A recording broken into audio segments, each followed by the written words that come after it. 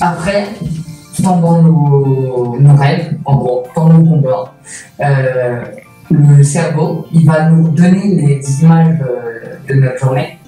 Donc, c'est-à-dire qu'on peut faire des cauchemars euh, à cause de ça. Parce que notre cerveau, je crois qu'il est à, à cran. Et du coup, bah, euh, on a toutes ces images et on fait des, des cauchemars.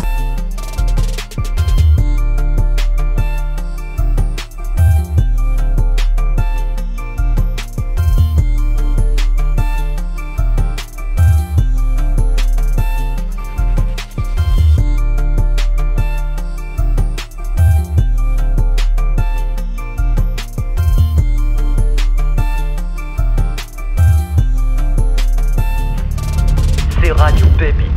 Pépite. Pépite.